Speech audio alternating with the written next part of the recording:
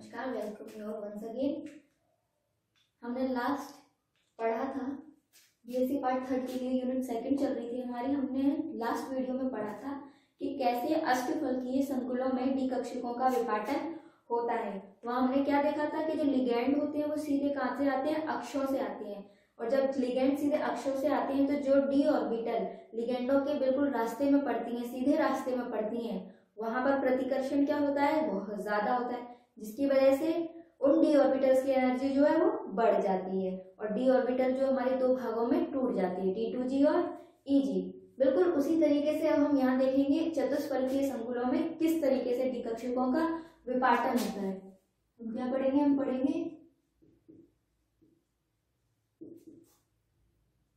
चतुष्फलकीय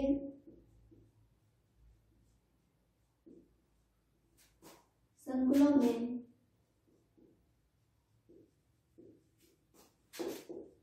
D कक्षकों का विपाटन। चतुष्फलकीय संकुलों में डी ऑर्बिटल कैसे स्प्लिट होती है हम वो देखेंगे। सबसे पहले देखेंगे चतुष्फलकीय संकुल होते कैसे हैं। ये कुछ इस तरीके के होंगे। बीच में मेटल होगा और ये किससे घिरा हुआ होगा? लिगेंडों से घिरा हुआ होगा। जो इस तरह की संरचना होगी, ये कैसी होगी? चतुष्फलकीय संरचना होगी। हम हमारी कन्वीनियंस के लिए, अच्छे से समझने के लिए हम मान लेते हैं ये जो चतुष्फलकीय संकुल है, ये क्यूब के अंदर है घन के अंदर रखा हुआ है।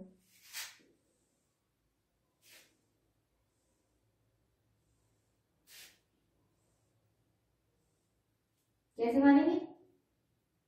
बीच में है हमारा मेटल और एकांतर कोनों पे हमारे क्या रखे हुए हैं? लिगेंड रखे हुए हैं।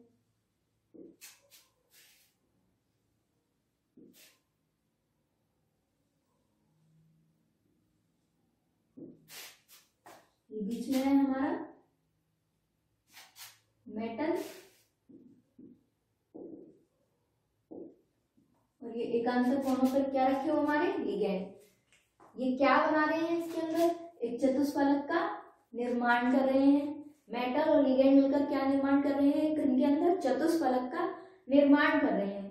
तो ये है हमारा चतुष्फलकीय संकुल ठीक है? अब हम देखें अष्टफलकीय संकुल में क्या हो रहा था? जो लिगेंड थे, वो कहाँ से आ रहे थे? अक्षों पर से आ रहे थे। और जो डी ऑर्बिटल रास्ते में पड़ रही थी उनके, वहाँ पर प्रतिकर्षण ज़्यादा हो रहा था। अब हम यहाँ पर देखें, यहाँ पर अक्ष कहाँ पर मौजूद है? तो यहाँ पर जो अक्ष होंगी, ये जो घन बना हुआ है, इसके केंद्र, फलक के जो केंद्र है, वहाँ से अक्ष गुजरती है। यानी कि जो जेड एक्सिस होगी, वो ऊपर से गुजरेगी। एक्स एक्सिस यहाँ से जेड एक्सिस कहाँ से जाएगी? अगर कोई क्यूब बॉक्स ले लें हम या कमरा ले लें तो जेड एक्सिस कहाँ से गुजरेगी? कमरे के बिल्कुल बीच से ऊपर की तरफ़। एक्स एक्सिस कहाँ जाएगी? कमरे के बीच से राइट साइड और वाई एक्सिस कहाँ जाएगी? कमरे के बीच से कहाँ से आएगी? क्यूब के बीच से सामने की साइड तो वाई एक्सिस किधर होगी? सामने की साइड होगी, है ना? अगर हम देखें, ये है जेड एक्सिस ये है एक्स एक्सिस और ये है हमारी वाई एक्सिस और हमारे लिगेंड कहाँ मौजूद है? लिगेंड यहाँ मौजूद है किनारों पर। तो ये जो जेड एक्सिस है, इसके अलोंग हमारी कौन सी एक्सिस होगी? डी जेड स्क्वायर एक्सिस यहाँ पर ऊपर की साइड कौन सी एक्सिस होगी मेटल की? डी जेड स्क्वायर क्योंकि वो जेड ऑर्बिटल पर होगी, हमने बताया था जो ऑर्बिटल पर स्थित होती है। डी जेड स्क्वायर और D X square minus Y square तो ये अगर हम जेड एक्सिस के अलोंग देखें तो यहाँ पर है डी जेड स्क्वायर और लिगेंड कहाँ है? यहाँ मौजूद है। तो लिगेंड का और डी जेड स्क्वायर का आपस में कोई डायरेक्ट कांटेक्ट नहीं हो रहा है, यानी आपस में आमना सामना डायरेक्ट नहीं हो रहा है, प्रत्यक्ष नहीं हो रहा है। अगर हम देखें, ये जेड एक्सिस है और ये एक्स एक्सिस है। तो तीन डी ऑर्बिटल ऐसी थी जो कहाँ पर उपस्थित होती हैं? अक्षों के मध्य में उपस्थित होती है। तो जेड और एक्सिस एक्स के मध्य में कौन सी उपस्थित होगी? यहाँ पर एक ऑर्बिटल उपस्थित होगी। कौन सी होगी? डी एक्स जेड अगर हम देखें डी एक्स जेड ऑर्बिटल को,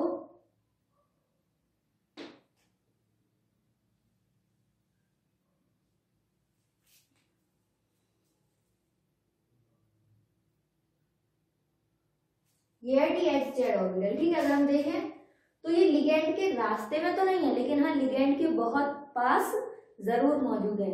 तो हम देख रहे हैं, हम कह सकते हैं कि ये जो हमारे चतुष्फलकीय संकुल होते हैं, इनमें जो लिगेंड होते हैं कोई भी लिगेंड डायरेक्टली किसी भी डी ऑर्बिटल को प्रभावित नहीं करता है। यानी कि बिल्कुल सामने से आ रहा हो किसी डी ऑर्बिटल के और वह प्रतिकर्षण को बढ़ा दे, ऐसा यहाँ पर नहीं होता है। जबकि अष्टफल संकुलों में क्या होता है? डी जेड स्क्वायर और D X square minus Y square से लिगेंडो के ऑर्बिटल इलेक्ट्रॉनों का डायरेक्ट क्या होता है? रिपल्शन होता है। डायरेक्ट सामना होता है, जिससे वहाँ पर उनकी एनर्जी बढ़ जाती है। लेकिन यहाँ पर देखें तो जो अक्षों पर डी ऑर्बिटल मौजूद है, उनका लिगेंड से कोई डायरेक्ट कॉन्टेक्ट नहीं है। इसके अलावा जो अक्षों के मध्य में डी ऑर्बिटल स्थित है, उनका भी कोई डायरेक्ट कॉन्टेक्ट नहीं है। लेकिन अगर डिस्टेंस की बात की जाए तो ये जो अक्षों के मध्य में जो डी ऑर्बिटल उपस्थित है, वो लिगेंड के ज़्यादा करीब है। यहाँ देखें, ये लिगेंड के ज़्यादा करीब है। जबकि यहाँ पर देखें, यहाँ डिस्टेंस क्या है? बहुत ज़्यादा है। ये लिगेंड से बहुत दूर है। तो अगर प्रतिकर्षण की बात की जाए, क्योंकि ये ऑर्बिटल लिगेंड के ज़्यादा करीब है तो यहाँ पर प्रतिकर्षण क्या होगा? ज़्यादा होगा डी जेड स्क्वायर के कंपैरिजन में। यानी कि हम कह सकते हैं, क्या कह सकते हैं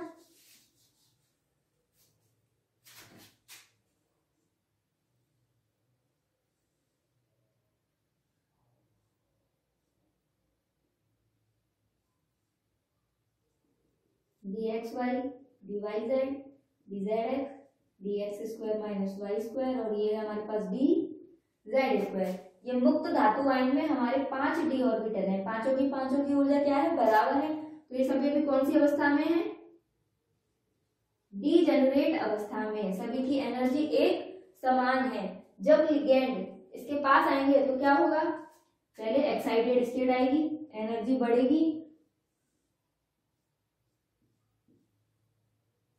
Y Z D Z X D X square minus Y square और डी जेड ये कौन सी कंडीशन है? ये हाइपोथेटिकल कंडीशन है, जब हम ये मानते हैं कि जो लिगेंड है, वो सभी के सभी डी ऑर्बिटलों को समान मात्रा में प्रतिकर्षित कर रहे हैं। तो सबकी एनर्जी भी समान मात्रा में बढ़ रही है, लेकिन ऐसा एक्चुअल में नहीं होता। हाइपोथेटिकल है। यहाँ पर ये जो डी ऑर्बिटल है, ये किसमें मौजूद है?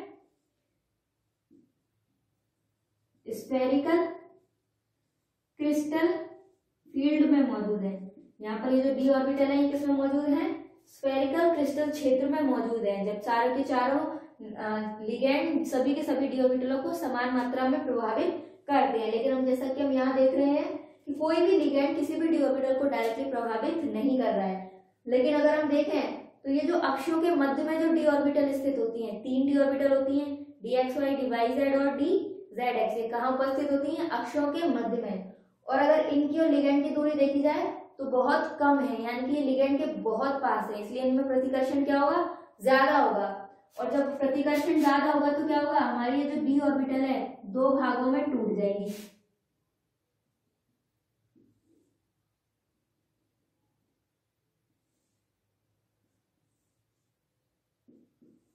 जैसे अष्टफलकीय में हमारी डी ऑर्बिटल टूटी थी बिल्कुल वैसे ही यहाँ पर भी टूट जाएगी।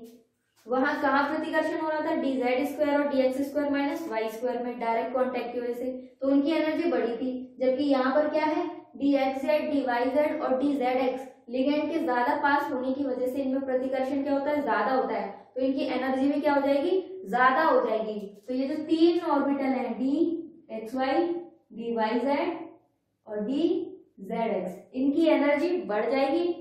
और जो बची हुई डी ऑर्बिटल है D Z square X square minus Y square और डी जेड स्क्वायर इनकी एनर्जी इनकी तुलना में कम हो जाएगी। ये बीच में हमारा पास क्या है? ये है हमारा वेरी सेंटर यहाँ से नो स्प्लिटिंग जोन भी कहते हैं, जहाँ पर संकुलों की स्प्लिटिंग नहीं होती। अब ये जो डी ऑर्बिटल दो भागों में टूट गई, इनके बीच का ये जो ऊर्जा अंतर है इसे क्या कहते हैं? क्रिस्टल क्षेत्र। ये जो विपाटन हुआ डी ऑर्बिटल का, इसे क्या कहते हैं? क्रिस्टल क्षेत्र विपाटन। और जब ये विपाटन होगा तो कुछ ऊर्जा मुक्त होती है, जिसे हम क्या कहते हैं? क्रिस्टल क्षेत्र विपाटन ऊर्जा। जिसे किससे प्रदर्शित करते हैं? डेल्टा से प्रदर्शित करते हैं।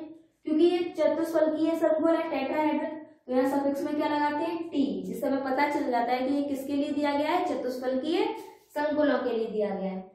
यहाँ अगर हम देखें तो इन दो डी ऑर्बिटलों की ऊर्जा कम हुई है, यानी इन्होंने ऊर्जा का त्याग किया है। तो साइन कैसा आएगा? माइनस कितनी ऊर्जा का त्याग किया है? इन्होंने त्याग किया है थ्री बाई फाइव ऊर्जा का, यानी कि minus zero point six delta T और अगर डी क्यू में लिखू तो six D Q minus six D Q ऐसे इन्होंने ऊर्जा को ग्रहण किया है। इसलिए उच्च ऊर्जा स्तर में गई है। ग्रहण किया है तो साइन आएगा पॉजिटिव कितना ग्रहण किया है? प्लस टू बाई फाइव यानी कि कितना हो जाएगा? प्लस ज़ीरो पॉइंट चार डेल्टा टी या इसको प्लस फोर डी क्यूब में भी प्रदर्शित कर सकते हैं। तो चतुष्फलकीय संकुलों में हमारे जो डी ऑर्बिटलों का विपाटन होता है, वो अष्टफलकीय के विपरीत होता है। यानी अष्टफलक में क्या था? ये दो डी ऑर्बिटल ऊपर थी और ये तीन डी ऑर्बिटल नीचे थी जबकि चतुष्फलकीय में उल्टा हो गया है। तीन डी ऑर्बिटल की एनर्जी बढ़ गई है और जो दो डी ऑर्बिटल थे, उनकी एनर्जी कम हो गई है। अब अगर हम यहाँ पर नाम दें तो ये कौन सा सेट कहलाएगा? ये ई e सेट कहलाएगा और ये सेट क्या कहलाएगा? टी टू सेट कहलाएगा। जबकि अष्टफल के संकुल में हमें नाम क्या दिया था इनको, एक का नाम दिया था टी टू जी और एक को नाम दिया था हमने ई e जी क्यों दिया था वहाँ पर? क्योंकि अष्टफलकीय संकुलों में सम्मिति का केंद्र पाया जाता है। जबकि अगर हम यहाँ देखें, ये चतुष्फलकीय संकुल है, इस लिगेंड के सामने कोई लिगेंड नहीं है, इसके सामने कोई लिगेंड नहीं है, इसके सामने कोई लिगेंड नहीं है, इसके सामने कोई लिगेंड नहीं है। यानी कि चतुष्फलकीय संकुलों में centre of symmetry centre of symmetry समिति का केंद्र नहीं होता है। समिति का केंद्र नहीं होता है, इसीलिए यहाँ पर जो जी सफिक्स था जीराडे या जीरेड उसे हम यूज़ नहीं करते। इसलिए इनका नाम क्या है? ई e और टी टू यहाँ पर इनको क्या कहा जाता है? ये ई e सेट है और ये टी टू सेट है। तो ये होता है चतुष्फलकीय संकुलों में डी कक्षकों का विपाटन। इस प्रकार से होता है। होता है। ठीक है? अगर हम इसकी तुलना अष्टफलकीय संकुलों से करें यानी कि यहाँ पर भी विपाटन हुआ, अष्टफल के संकुलों में भी डीकक्षकों का विपाटन हुआ। लेकिन ये देखा जाता है ये जो चतुष्फल के संकुल होते हैं, इनमें जो विपाटन होता है, वो अष्टफल के संकुलों की तुलना में कम होता है। यानी कि ये जो एनर्जी गैप है, ये जो विपाटन है, ये चतुष्फलकीय संकुलों में कम और अष्टफलकीय संकुलों में क्या होता है? ज़्यादा होता है। तो ऐसा क्यों होता है? वो देखते हैं।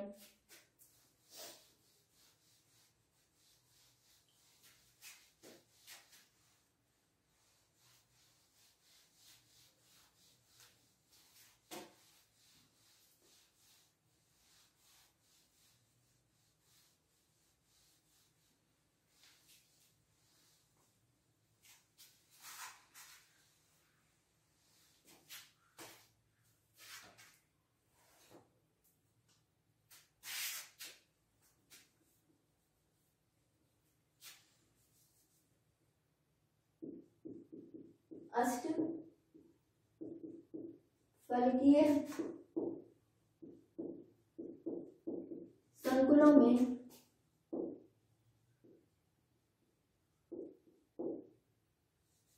अष्टफलकीय संकुलों में डेल्टा ओ का मान डेल्टा टी से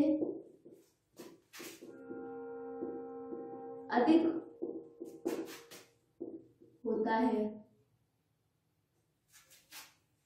क्या कहा हमने? जो अष्टफल के संकुलों में डी कक्षकों का विपाटन होता है, वो ज़्यादा होता है, जबकि चतुष्फल के संकुलों में डी कक्षकों का विपाटन कम होता है। ऐसा क्यों है? क्या रीजन है? पहला रीजन तो इसका ये है कि अष्टफल के संकुलों में कितने लिगेंड थे? छह लिगेंड। कैसे होता है अष्टफल के संकुल? एम एल सिक्स टाइप होते हैं। यहाँ कितने लिगेंड है? छह लिगेंड है। जबकि चतुस्वर के संकुलों में कितने हैं? ये एम एल फोर टाइप के होते हैं। चतुस्वर के संकुलों में कितने लिगेंड है? चार लिगेंड यहाँ छह लिगेंड है। यहाँ चार लिगेंड है। तो कहाँ पर स्प्लिटिंग ज़्यादा होगी? कहाँ पर विपाटन ज़्यादा होगा? अब किसी इंसान को छह लोग मारेंगे, एक अकेले इंसान को, और एक अकेले इंसान को चार लोग मारेंगे तो किसको ज़्यादा चोट लगेगी? जैसे छह लोग मार रहे हैं ना, इसी तरह से यहाँ पर छह लिगेंड है तो ज़्यादा प्रभावित करेंगे, चार लिगेंड है तो कम प्रभावित करेंगे, है ना? यहाँ पर कम प्रतिकर्षण होगा, यहाँ पर प्रतिकर्षण ज़्यादा होगा। इसीलिए अष्टफल के संकुलों में क्या होता है? जो विपाटन होता है वो अधिक होता है और चतुष्फल के संकुलों में कम होता है। तो पहला रीजन हम लिख सकते हैं। क्या लिख सकते हैं? अष्टफल के संकुलों में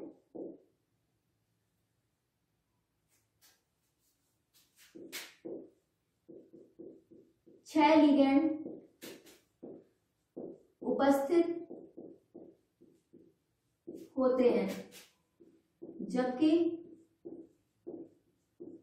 चतुष्फलकीय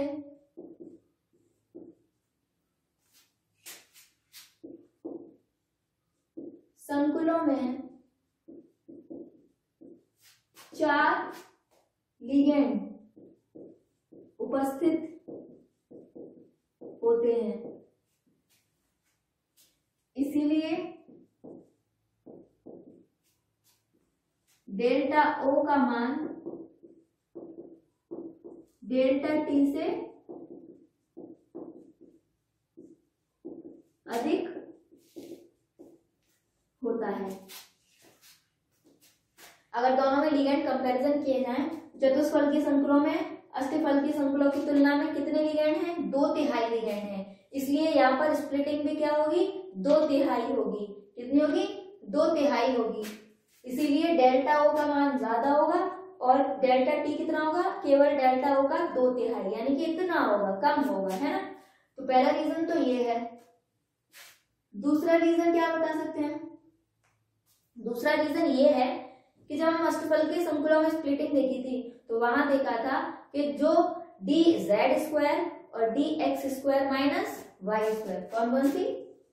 डी जेड स्क्वायर और D X square minus Y square orbital ligand के सीधे रास्ते में पड़ने थी।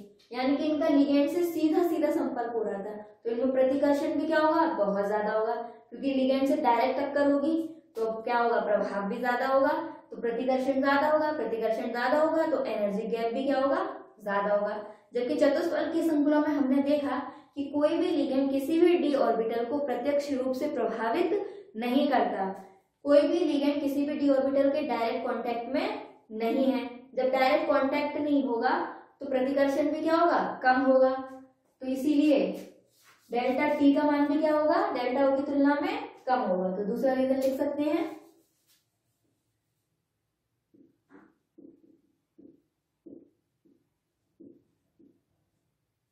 अष्टफलकीय संकुलों में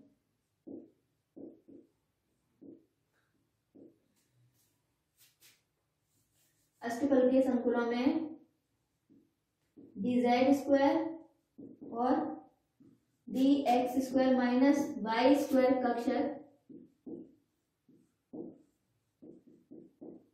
लिगेंडो के मार्ग में आने के कारण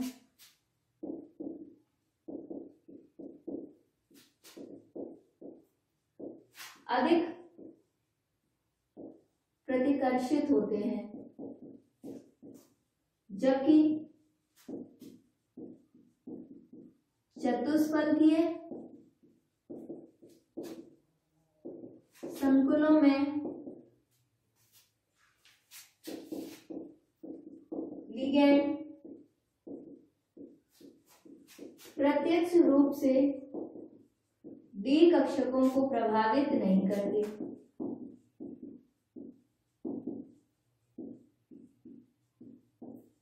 नहीं करते। इसलिए डेल्टा ओ का मान डेल्टा टी से अधिक होता है। रिलेशन है डेल्टा टी और डेल्टा ओ में। डेल्टा टी जो होता है वो फोर बाई नाइन टाइम्स होता है किसका? डेल्टा ओ का। यानी डेल्टा ओ का मान ज़्यादा है और डेल्टा टी का मान कम होता है। डेल्टा ओ की कंपैरिजन में ये केवल कितना होगा? फोर बाई नाइन गुना होगा। यानी कि चार बट्टे नौ गुना होगा केवल। ठीक है? तो ये रिलेशन आप याद रखिएगा। क्यों है? वो बता दिया। अष्टफल के संकुलों में छह लिगेंड होते हैं चतुष्फलकीय में चार लिगेंड होते हैं। तो जहाँ छह लिगेंड होंगे, वहाँ प्रतिकर्षण ज़्यादा होगा, इसलिए स्प्लिटिंग भी ज़्यादा होगी, ठीक है? अष्टफल के संकुलों में लिगेंड डी कक्षकों को डायरेक्टली प्रभावित करते हैं, जबकि चतुष्फल के संकुलों में ऐसा नहीं होता, इसलिए चतुष्फल के संकुलों में जो स्प्लिटिंग है, जो गैप है, वो बहुत कम होता है। तो इस तरीके से हमने देखा अष्टफल की और चतुष्फल की संकुलों में डी कक्षकों का विपाटन आगे हम देखते हैं, आगे हम देखते हैं कि हम बार बार लिगेंड लिगेंड लिगेंड बोल रहे हैं तो ये लिगेंड कितने तरीके के होते हैं? ठीक है?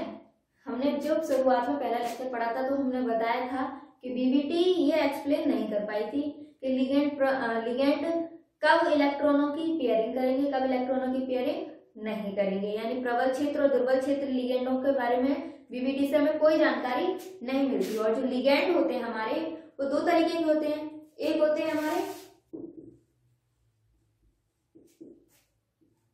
प्रबल क्षेत्र लिगेंड स्ट्रॉन्ग फ़ील्ड लिगेंड जैसा कि नाम से पता चल रहा है, प्रबल स्ट्रॉन्ग यानी कि ये जो लिगेंड होंगे, इनका प्रभाव बहुत स्ट्रॉन्ग होगा। यानी कि जब ये धातु आयन के पास आएँगे तो प्रतिकर्षण इतना ज़्यादा होगा कि जो डी ऑर्बिटल की जो स्प्लिटिंग है, जो विपाटन है, वो बहुत ज़्यादा हो जाएगा। तो हम इस तरीके से इनको डिफाइन कर सकते हैं कि ऐसे लिगेंड होते हैं जिनके द्वारा डी कक्षकों का विपाटन बहुत अधिक होता है, यानी डेल्टा का मान बहुत अधिक प्राप्त होता है। दूसरा, जब ये लिगेंड उपस्थित होंगे तो डेल्टा का मान क्या हो जाएगा? ज़्यादा हो जाएगा। तो इलेक्ट्रॉनों की जो पेयरिंग है, इलेक्ट्रॉनों की जो पेयरिंग है, वो होना प्रारंभ हो जाएगी। यानी कि प्रबल क्षेत्र लिगेंड जहाँ पर मौजूद होंगे वहाँ पर इलेक्ट्रॉनों की पेयरिंग होगी, इलेक्ट्रॉनों का युग्मन होगा। तो हम इन्हें डिफाइन कर सकते हैं।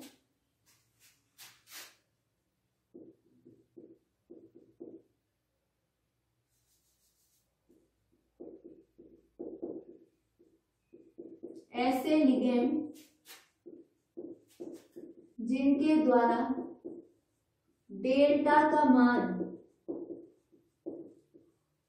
अधिक प्राप्त होता है प्रबल क्षेत्र लिगेंड कहलाते हैं ठीक है और क्या लिख सकते हैं प्रबल क्षेत्र लिगेंडो द्वारा इलेक्ट्रॉनों का युग्मन पेयरिंग हो जाता है इलेक्ट्रॉनों का युग्मन हो जाता है हम इलेक्ट्रोकेमिकल सीरीज़ लिखेंगे पूरी उसमें देखेंगे कौन प्रबल क्षेत्र है कौन दुर्बल अभी एग्जांपल में बता देते हैं कौन कौन प्रबल क्षेत्र में आते हैं? जैसे सी हो। है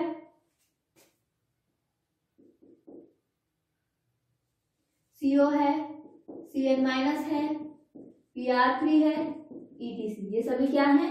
प्रबल क्षेत्र लिगेंड है। ये जब जब धातु आयन के साथ संकुल बनाएँगे डेल्टा का मान बहुत अधिक प्राप्त होगा और इलेक्ट्रॉनों का युग्मन भी होगा। ठीक है? जैसे प्रबल क्षेत्र लिगेंड होते हैं, उसी तरह से दूसरे होते हैं हमारे पास। दुर्बल क्षेत्र लिगेंड वीक फ़ीड लिगेंड जैसा कि नाम से पता चल रहा है, दुर्बल वीक यानी कि जब किसी संकुल में दुर्बल लिगेंड दुर्बल क्षेत्र लिगेंड उपस्थित होंगे तो वहाँ पर वो स्प्लिटिंग बहुत ज़्यादा नहीं कर पाएँगे। यानी कि डी ऑर्बिटलों को बहुत ज़्यादा प्रभावित नहीं करेंगे तो उनमें प्रतिकर्षण नहीं होगा, प्रतिकर्षण ज़्यादा नहीं होगा तो डी ऑर्बिटल की स्प्लिटिंग भी ज़्यादा नहीं होगी। यानी कि इनसे जो डेल्टा के मान प्राप्त होंगे, वो कैसे प्राप्त होंगे? कम प्राप्त होंगे। जब डेल्टा का मान कम है तो क्या हो जाएगा इन इलेक्ट्रॉनों में? पेयरिंग नहीं होगी, क्योंकि डेल्टा का मान कम है तो इलेक्ट्रॉन पेयर करने की वजह कहाँ चले जाएँगे? ऊपर चले जाएँगे। ये क्या है, वो हम आगे बताएँगे, कैसे ऊपर चले जाते हैं, क्यों पेयरिंग नहीं होती, वो हम आगे बताएँगे, ठीक है? अभी हम देखते हैं इनकी डेफिनेशन ऐसे लिगेंड जिनके द्वारा डेल्टा का मान कम प्राप्त होता है दुर्बल क्षेत्र लिगेंड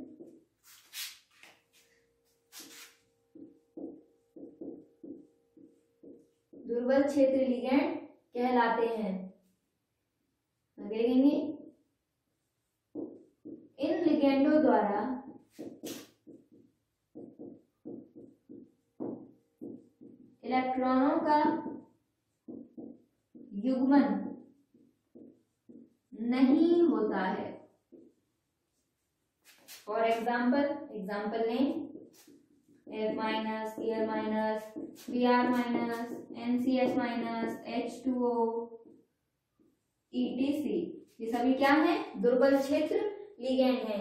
इनसे डी ऑर्बिटल का विपाटन बहुत अधिक नहीं हो पाता है। जिस तरह से हमारे पास लिगेंड होते हैं, दो तरीके के प्रबल क्षेत्र लिगेंड दुर्बल क्षेत्र लिगेंड इसी तरह से संकुल भी दो तरीके के बनते हैं हमारे पास। एक तो बनते हैं उच्च चक्रण संकुल। एक बनते हैं हमारे पास, निम्न चक्रण संकुल। देखते हैं हम कि उच्च चक्रण संकुल क्या होते हैं और निम्न चक्रण संकुल क्या होते हैं। क्या होते हैं?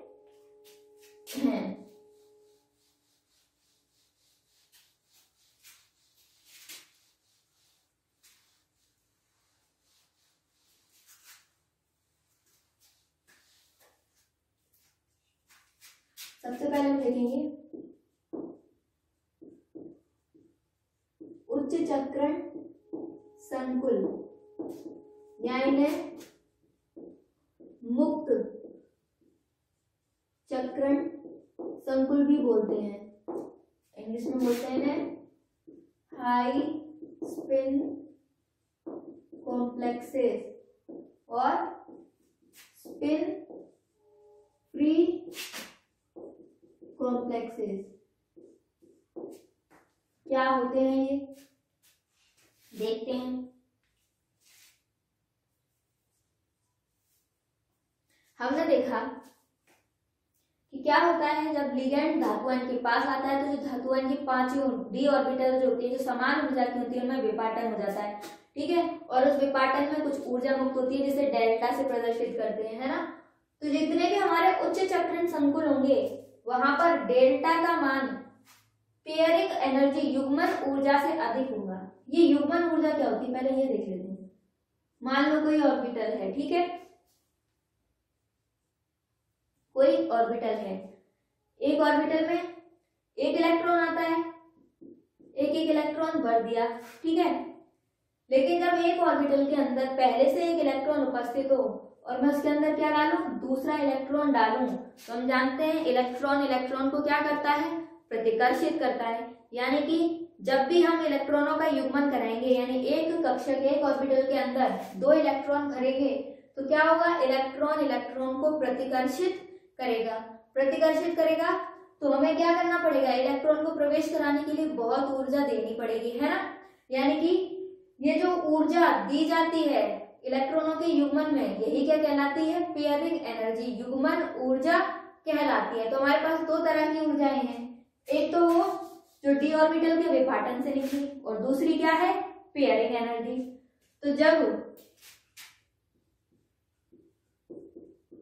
तो जिन संकुलों में डेल्टा का मान युग्मन ऊर्जा से कम होता है वे उच्च चक्रण संकुल कहलाते हैं।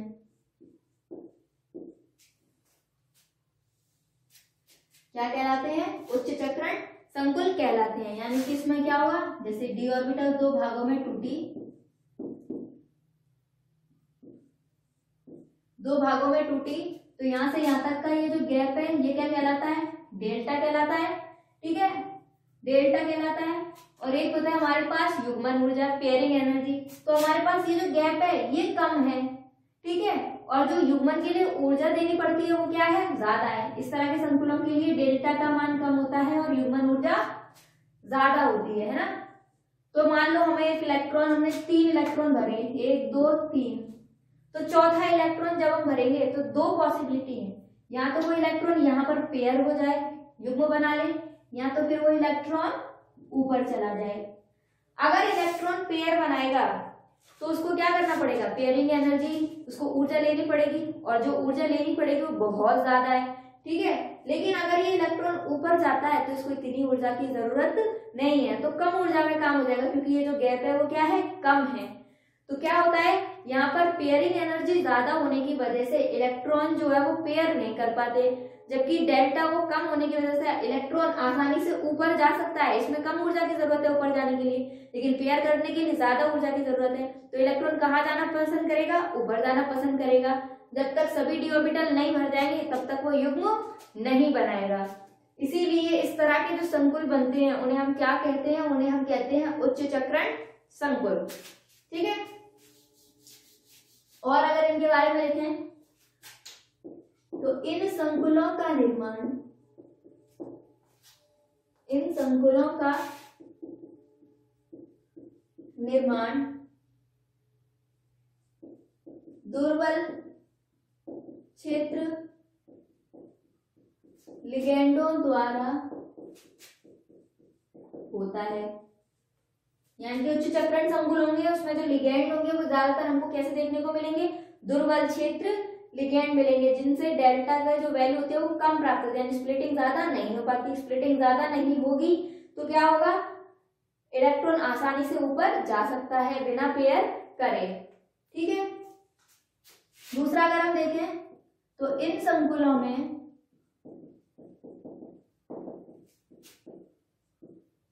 अयुग्मित इलेक्ट्रॉनों की संख्या। अधिक होती है। ठीक है? यानी कि जो उच्च चक्रण संकुल है, अभी बोला पेयरिंग नहीं करते, ऊपर जाना पसंद करेंगे। पेयरिंग करने की वजह तो अयुग्मित इलेक्ट्रॉनों की संख्या में क्या होगी? वृद्धि होगी। यानी कि जो उच्च चक्रण संकुल होते हैं, वहाँ पर अयुग्मित इलेक्ट्रॉन निम्न चक्रण संकुलों की तुलना में ज़्यादा होते हैं। ठीक है? इनको हमने एक और नाम भी दिया है, मुक्त चक्रण संकुल स्पिन फ्री कॉम्प्लेक्स इनको ऐसा क्यों कहा जाता है? एग्ज़ाम्पल लेकर चलते हैं। फॉर एग्ज़ाम्पल हमारे पास एक कॉम्प्लेक्स बन रहा है सीओ एच टू ओ का whole six two plus cobalt कौन सी ऑक्सीकरण अवस्था में है यहाँ पर? प्लस टू ऑक्सीकरण अवस्था में तो इसका विन्यास क्या हो जाएगा? इसका विन्यास होगा three D seven four S zero यानी एस में इलेक्ट्रॉन नहीं होंगे। थ्री डी सेवन होगा डी में कितने इलेक्ट्रॉन है? सात। जब ये धातु आयन कोवर्ट प्लस टू ऑक्सीकरण अवस्था में, किसी लिगेंड से जुड़ा हुआ नहीं है तो इसके डी ऑर्बिटल में कितने इलेक्ट्रॉन है? सात। तो भर दें कैसे भरेंगे? पाँच डी ऑर्बिटल है D X Y D Y Z D Z X D X square minus Y square और एक हमारे पास डी जेड स्क्वायर कितने इलेक्ट्रॉन है? सात। तो भर दें एक, दो, तीन, चार, पाँच छ और ये सात पहले पाँचों डी ऑर्बिटल में एक एक इलेक्ट्रॉन भरा जब पाँचों भर गई, उसके बाद इलेक्ट्रॉनों का युग्मन हुआ, है ना? अब ये तो मुक्त अवस्था में जब कोई लिगेंड जुड़ा हुआ नहीं है। मान लो लिगेंड इसके पास आया तो जब लिगेंड पास आएगा धातु आयन के तो सीएफटी के अनुसार क्या होगा? डी ऑर्बिटल का विपाटन होगा। कितने लिगेंड है? छह, यानी अष्टफल की संकुल बनेगा। तो डी ऑर्बिटलों का विपाटन कैसे होगा? डी ऑर्बिटल दो भागों में टूटेगी।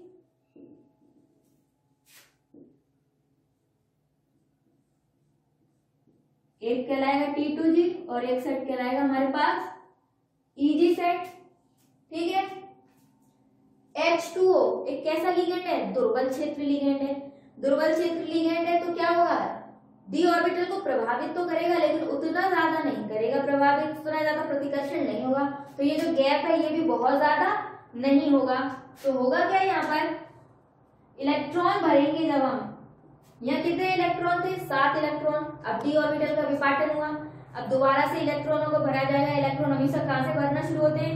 निम्न ऊर्जा के कक्षकों से भरना शुरू होते हैं। तो हमने भर दिया। एक, दो, तीन इलेक्ट्रॉन भर दिए। चौथा इलेक्ट्रॉन दो पॉसिबिलिटी है हमारे पास। या तो इलेक्ट्रॉन ऊपर जाए ईजी सेट में, या तो फिर यहीं पर युग्मन कर ले। चौथा इलेक्ट्रॉन यहाँ पर आ जाए।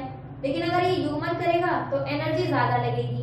उतनी एनर्जी हमें हमारे पास है नहीं, क्योंकि जो H2 के साथ बॉन्ड बने वो इतने स्ट्रॉन्ग नहीं है तो उतनी एनर्जी हमको दे सके कि जितना हम इलेक्ट्रॉनों की पेयरिंग करा सके जितने में तो यहाँ पेयरिंग तो नहीं होगी तो क्या होगा? इलेक्ट्रॉन नीचे आने की बजाय कहाँ जाना पसंद करेगा? ऊपर। तो तीन, चार, पाँच।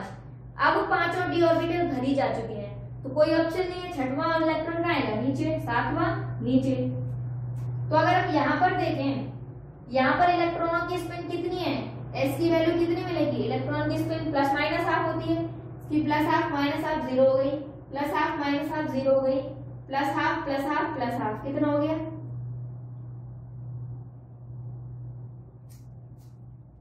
थ्री बाई टू यहाँ पर स्पिन की वैल्यू कितनी आ रही है?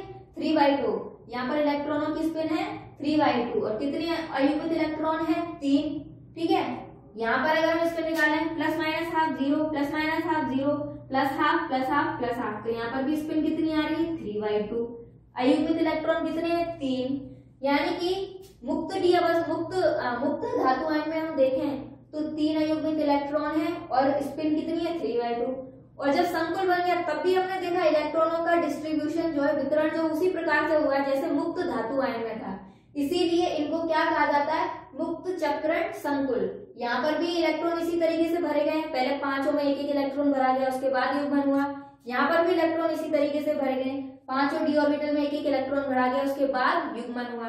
यहाँ पर भी तीन अयुग्मित इलेक्ट्रॉन है, यहाँ पर भी तीन है। यहाँ पर भी स्पिन थ्री बाई टू है, यहाँ पर भी स्पिन थ्री बाई टू है। यानी कि यहाँ पर जो इलेक्ट्रॉन्स की संख्या है, जो इलेक्ट्रॉनों की स्पिन है वो मुक्त धातु आयन के समान रहती है। इसीलिए इन संकुलों को मुक्त चक्रण संकुल कहा जाता है। तो ये होते हैं हमारे मुक्त चक्रण संकुल। जैसे मुक्त चक्रण संकुल होते हैं, उसी तरीके से होते हैं हमारे पास। अगला देखेंगे हम, निम्न चक्रण संकुल। या इनका दूसरा नाम है चक्रण युक्त संकुल। इंग्लिश में बोलते हैं लो स्पिन और स्पिन फ्री की बजाय ये क्या होते हैं? स्पिन पेयर्ड होते हैं। अब ये क्या होते हैं? ये क्या होते हैं? अभी हमने उच्च चक्रण संकुलों में क्या देखा था? उच्च सत्करण संकुल जहाँ पर बनेगी, वहाँ पर डेल्टा का मान कम होता है पेयरिंग एनर्जी का मान ज़्यादा होता है। और ये उसके अपोजिट होते हैं। यहाँ पर क्या होगा? डेल्टा का मान बहुत ज़्यादा होगा। स्प्लिटिंग जो होगी डी ऑर्बिटल का, विपाटन जो होगा, वो बहुत ज़्यादा होगा, है ना? और पेयरिंग एनर्जी का मान कम होगा। यानी कि यह गैप ज़्यादा होने की वजह से इलेक्ट्रॉन नीचे से ऊपर नहीं जा पाएगा, क्योंकि ऊपर जाने के लिए इलेक्ट्रॉन को बहुत ऊर्जा चाहिए। और अगर इलेक्ट्रॉन युग्मन करे तो उसके लिए कम ऊर्जा चाहिए। तो यहाँ पर क्या होगा? इलेक्ट्रॉन युग्मन करना पसंद करेंगे बजाय ऊपर जाने के। ठीक है? तो इस तरह के जो संकुल बनेंगे, उन्हें हम क्या कहते हैं? उन्हें हम कहते हैं निम्न चक्रण संकुल या चक्रण युक्त संकुल। तो इसमें लिखे, जिन संकुलों में डेल्टा का मान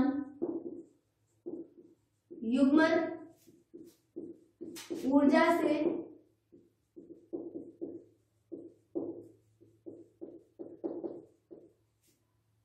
अधिक होता है।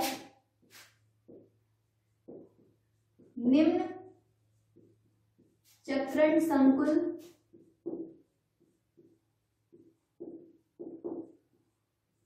कहलाते हैं।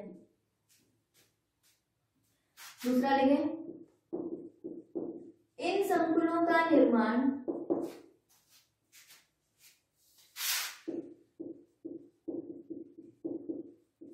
प्रबल क्षेत्र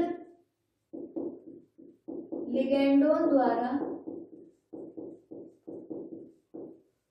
होता है और इनमें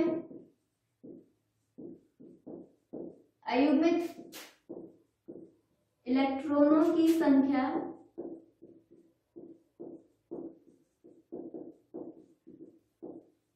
कम होती है यहाँ पर क्या होता है डेल्टा का मान ज़्यादा होता है पेयरिंग एनर्जी का मान कम होता है। और इनका निर्माण किससे होता है? प्रबल क्षेत्र लिगेंड। जहाँ पर भी प्रबल क्षेत्र लिगेंड होंगे तो वो क्या करेंगे? डी ऑर्बिटल को बहुत ज़्यादा प्रभावित करेंगे। जब डी ऑर्बिटल बहुत ज़्यादा प्रभावित होगी तो स्प्लिटिंग भी क्या होगी? ज़्यादा होगी। ये गैप एनर्जी गैप जो है, वो बहुत ज़्यादा बढ़ जाता है। तो इलेक्ट्रॉन नीचे से अगर ऊपर जाना चाहेगा तो उसे बहुत ऊर्जा की ज़रूरत पड़ेगी, क्योंकि गैप बहुत ज़्यादा है। जबकि अगर पेयरिंग करेगा तो उसके लिए इतनी ऊर्जा की ज़रूरत नहीं पड़ेगी जितनी की इलेक्ट्रॉन को ऊपर पहुँचाने के लिए पड़ेगी। तो इलेक्ट्रॉन क्या करेंगे? नीचे ही युग्मित हो जाएँगे और वो ऊपर जाना पसंद नहीं करेंगे। जब युग्मित हो जाएँगे इलेक्ट्रॉन तो फिर अयुग्मित इलेक्ट्रॉन बचेंगे नहीं। यानी कि इन संकुलों में अयुग्मित इलेक्ट्रॉनों की जो संख्या होती है, उच्च चक्रण संकुलों की तुलना में क्या होती है? कम होती है है ना? एग्ज़ाम्पल लें अगर हम इसका।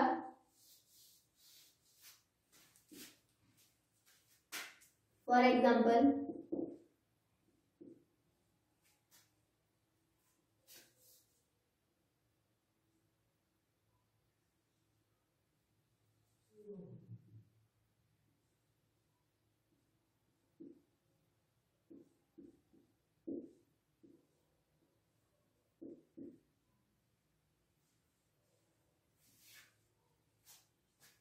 छह थ्री लिगेंड लिए हैं हमने।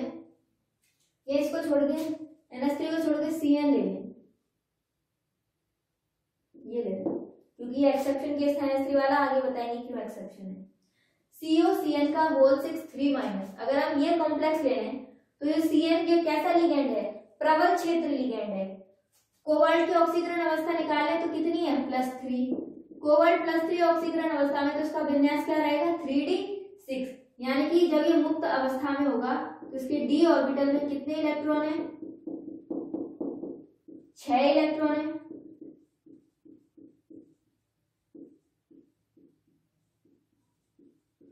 जैसे जैसे सी एन माइनस लिगेंड इसके पास आएँगे तो डी ऑर्बिटल क्या होगी? दो भागों में टूट जाएगी, क्योंकि ये कितने लिगेंड है? छह। तो संकुल कैसा बनेगा? अष्टफल की है। एक बनेगा टी टू जी सेट और एक बनेगा E G set C N minus ligand प्रबल क्षेत्र लिगेंड तो ये जो गैप होगा टी टू जी और ईजी के बीच में ये क्या होगा? बहुत ज़्यादा हो जाएगा. यानी कि संकुलों में ये गैप क्या है? डेल्टा वो जो है, वो ज़्यादा है. पेयरिंग एनर्जी कम है. तो अब इलेक्ट्रॉन भरेंगे. विपाटन हो गया. दोबारा से इलेक्ट्रॉन भरे जाएँगे. इलेक्ट्रॉन कहाँ से भरना शुरू होंगे? निम्न ऊर्जा के कक्षकों से. तीन इलेक्ट्रॉन भर गए तीनों कक्षकों में. अब चौथा इलेक्ट्रॉन यहाँ तो हम चौथे इलेक्ट्रॉन को ऊपर ले जाएँ, या तो फिर यहाँ आए। अगर हम ऊपर ले जाएँगे तो ये गैप क्या है? बहुत ज़्यादा है। उसके लिए हमें बहुत एनर्जी चाहिए। उतनी एनर्जी है नहीं। तो ये इलेक्ट्रॉन जो होगा चौथा, वो ऊपर ना जाकर क्या करेगा? नीचे ही युग्मन कर लेगा। तो चार, पाँच छ कोई भी इलेक्ट्रॉन ऊपर नहीं गया। उन्होंने नीचे ही युग्मन कर लिया। ठीक है? तो इस तरह के जो संकुल बनेंगे, वो कौन से संकुल कहलाएँगे? वो कहलाएँगे निम्न चक्रण संकुल। इन्हें क्या कहा जाता है? चक्रण युक्त संकुल। क्यों कहा गया चक्रण युक्त अगर हम यहाँ पर देखें तो कितने अयुग्मित इलेक्ट्रॉन है यहाँ पर? चार अयुग्मित इलेक्ट्रॉन है, जबकि यहाँ पर एक भी अयुग्मित इलेक्ट्रॉन नहीं है। यहाँ पर अगर हम स्पिन निकालें तो कितनी आएगी? ये तो ज़ीरो हो गई। Plus half plus half plus half plus half. कितनी हो गई दो। और अगर यहाँ पर स्पिन निकालें तो कितनी हो गई ज़ीरो। यानी कि यहाँ पर जो लिगेंड थे, यहाँ अयुग्मित थे, यहाँ युग्मित हो गए, जिसकी वजह से इनका स्पिन क्या हो गया? ज़ीरो। और यहाँ पर स्पिन कितना है? दो। इसीलिए इनको क्या कहा जाता है? चक्रण युक्त संकुल स्पिन पेयर्ड कॉम्प्लेक्स यानी कि जो स्पिन है वो क्या हो गई? पेयर हो गई। पेयर हो गई मतलब इलेक्ट्रॉनों का क्या हो गया? युग्मन हो गया। तो इस तरह के संकुलों को कहा जाता है स्पिन पेयर्ड कॉम्प्लेक्स ठीक है? तो ये थे हमारे उच्च चक्रण संकुल और निम्न चक्रण संकुल। हमने देखा प्रबल क्षेत्र लिगेंड दुर्बल क्षेत्र लिगेंड और चतुष्फलकीय और अष्टफलकीय में डी कक्षकों का विपाटन।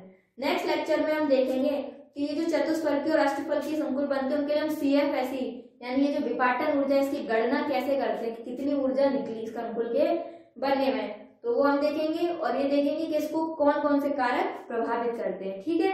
तो अभी के लिए बस इतना ही थैंक यू